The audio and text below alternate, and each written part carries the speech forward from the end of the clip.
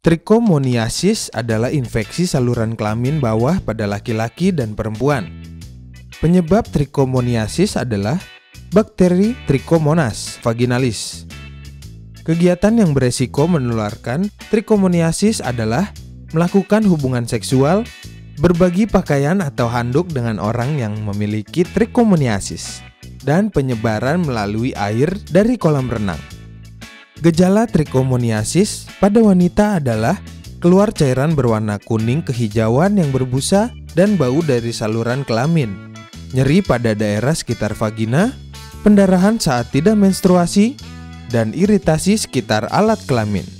Sedangkan gejala trichomoniasis pada laki-laki adalah saluran kencing gatal, kencing berwarna keruh di pagi hari, dan terkadang ada benang-benang halus di dalam kencing.